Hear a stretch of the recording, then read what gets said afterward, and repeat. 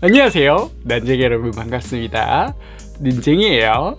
오늘은 처음 본 장소죠? 제가 얼마 전에 에어컨 고친 영상을 올렸었죠? 에어컨이 고장이 나서 그래서 AS 센터에 연락을 해보니까 가스가 빠졌을 것 같다고 하더라고요. 수리된 제품으로 보내주셨어요.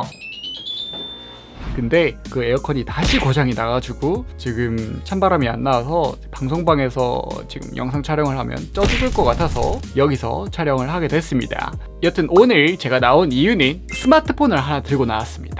무슨 제품이냐면 블랙뷰의 맥스1이라는 제품인데요. 이게 평범한 스마트폰은 아니고 이것도 박스는 보신 분들은 그때 보셨을 거예요. 제가 뭐 택배 까는 영상에서 보여드렸었으니까. 이 제품은 제가 구매를 한 제품이 아니고 받은 제품인데 이 회사가 국내 회사가 아니거든요. 그래가지고 메일로 처음에 광고 문의 메일이 왔을 때 영어로 왔었어가지고 조금 이 성사되기가 어려울 줄 알았는데 제품 리뷰를 하겠다니까 그냥 묻지도 따지지도 않고 제품을 그냥 보내줬어요 보냈다고 한 지 한 이틀인가 3일 만에 저희 집에 도착을 했어요. 근데 오늘 리뷰할 거는 그냥 평범한 스마트폰 리뷰처럼 뭐 스펙을 읽고 뭐 이런 식으로 할 리뷰가 아니고 이 휴대폰의 핵심인 빔 프로젝터 기능만 제가 오늘은 리뷰를 하도록 하겠습니다. 나중에 이 휴대폰에 대한 상세한 리뷰는 따로 제작을 해서 올리도록 할게요.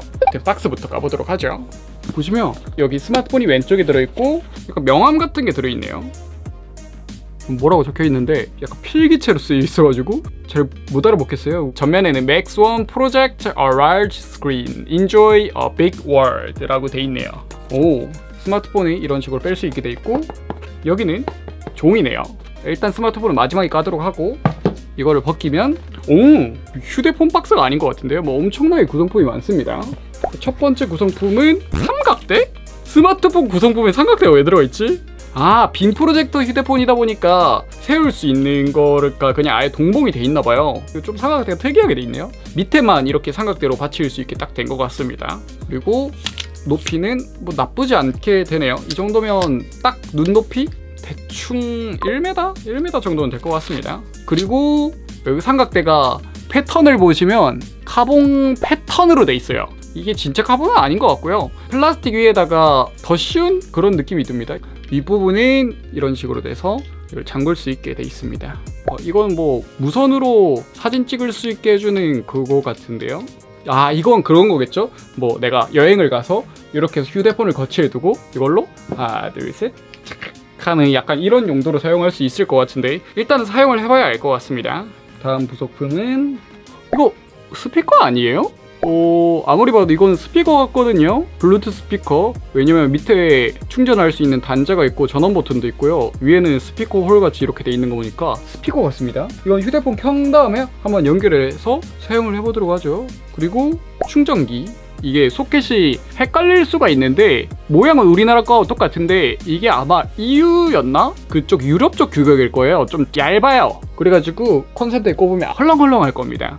제대로 안 될 거고요. 일단 충전기는 free volt이기 때문에 젠더를 사용하면 사용은 할 수 있을 거고요. 5V, 12V, 2A까지 가능합니다. 고속 충전이 가능한 충전기 같네요. 구성품 아주 알차고요. 그리고 마이크로 USB 케이블 그리고 USB-C 타입 케이블. 스마트폰은 USB-C 타입이거든요. 마이크로 USB 케이블 아 마이크로 USB 케이블은 이거하고 아까 저거 충전하라고 넣어준 것 같네요. 그리고 이거는 USB-C 타입으로 된 이어폰이고요. 이어팟하고 모양이 똑같이 생겼어요. 똑같은 건 아니고 거의 비슷하게 생겼어요. 거의 검은색 이어팟 느낌입니다.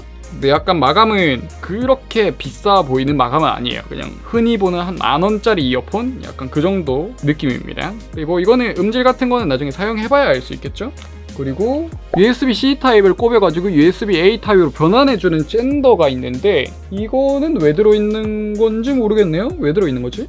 아무튼 저기 있고요. 이거는 아, 여기 삼각대에 장착할 수 있는 스마트폰 그거 같습니다. 이거를 돌려서 장착을 할 수 있겠죠? 거의 이건 스마트폰 쓰라고 만든 게 아니고 빔 프로젝터가 메인인 것 같아요. 마지막 구성품은 액정 필름 서비스 어, 유심 제거할 수 있는 이거 있고 케이스가 있습니다. 케이스는 겉면은 실리콘 느낌인데 안쪽은 약간 플라스틱 느낌이라고 해야 되나? 좀 특이하네요. 아예 젤리로 돼 있으면 젤리 된 건 써봤는데 나 이런 케이스는 좀 처음 봐요. 아무튼 굉장히 연성의 케이스입니다 그리고 설명서 그러면 일단 구성품은 여기까지 하고 메인인 휴대폰을 한번 보도록 하죠 포장은 막 엄청나게 비닐이 고급스럽게 돼 있진 않습니다. 뭐 근데 어차피 비닐은 한번 쓰고 뗄 거니까 딱히 상관없고요.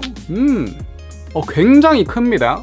스펙상으로 사이즈는 갤럭시 S10 플러스보다 약간 더 길고요. 아이폰 10s 맥스 정도 약간 그 정도 크기였어요. 어, 굉장히 큽니다. 그리고 두께가 이게 10.2mm인가 그래서 좀 많이 두껍습니다. 막 그렇다고 완전 벽돌 수준은 아니고요. 들고 다니는 데는 크게 문제가 없을 것 같고 이 휴대폰에서 가장 신기한 거 여기에 빔 프로젝터가 달려 있습니다. 와 근데 빔 프로젝터를 굉장히 아담하게 잘 담아놨네요. 오 신기하다.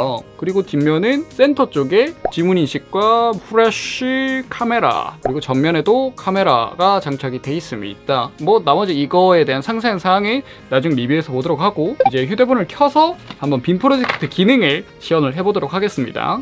로고는 블랙뷰 아주 하얀색으로 깔끔하게 뜨고요 이게 한국어를 선택을 하니까 대한민국하고 조선민주주의 인민공화국이 있습니다. 대한민국으로 할게요. 어 지금 대충 봤을 때 디스플레이는 괜찮아 보이네요.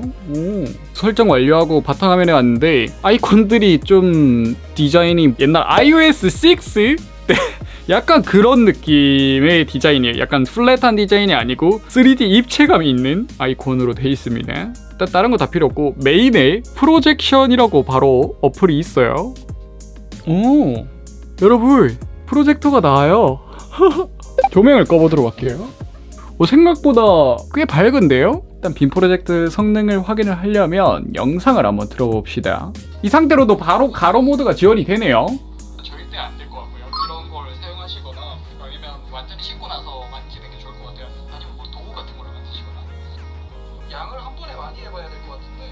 생각보다 많이 괜찮은 것 같아요. 근데 약간 단점이 있는데 지금 화면을 봤을 때 약간 여기 보면 보라색 이렇게 낀다고 해야 되나? 테두리만 이런 게 아니고 영상 안에서도 그런 증상들이 있거든요. 그래가지고 좀 화질이 안 좋아 보이는 그런 게 있어요. 근데 엄청나게 신경 쓰일 정도는 아닌데 그래도 좀 거슬리긴 합니다. 그리고 해상도가 720p인데 보통 한 4, 50만원? 한 100만원 넘어가지 않는 프로젝터들은 대부분 720p거든요. 근데 휴대폰 안에 720p의 프로젝터가 들어있는 건데 상당히 quality가 괜찮습니다. 일단 밝기가 엄청 밝아요. 그리고 지금 뭐 화면에는 이렇게 올라가는 검은색이 이게 보이는데 저한테는 안 보여요. 이게 한 10초? 한 15초 뒤면 휴대폰 화면이 꺼져요. 자동으로.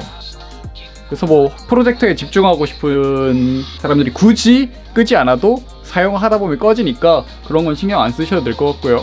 이제 단점은 화면을 터치하면 바로 켜지는 게 아니라서 그건 좀 그렇긴 하네요.